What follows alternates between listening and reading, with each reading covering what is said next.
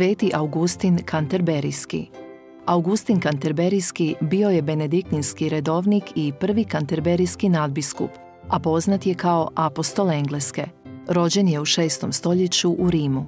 Kad je kao ponizni prior benediktinskog samostana Svetog Andrije u Rimu dobio zadatak poći u evangelizaciju Engleske, obuzeo ga je strah.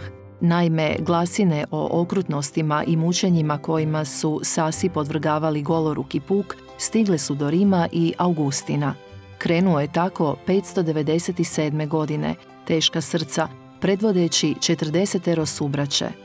Kad je došao do otoka Lerina u blizini Kana, odlučio se vratiti u Rim, no papa ga je ohrabrio i pozvao da nastavi dalje. Augustin je postavljen za opata i imenovan biskupom.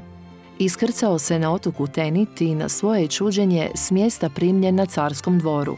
Kraljevski bračni par, poganski kralj Kenta i supruga Berta koja je bila kršćanka, ponudili su mu sjajnu rezidenciju u Canterberiju, na pola puta između Londona i mora, gdje je poslije podignuta i njemu povjerena velika opatija.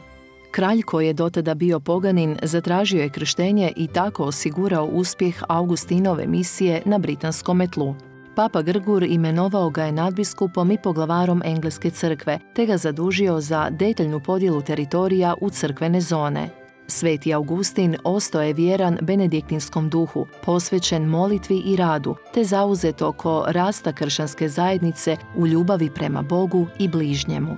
Nakon što je osnovao još dva biskupska sjedišta u Londonu i Rochesteru, Preminuo je 26. svibnja 604. godine.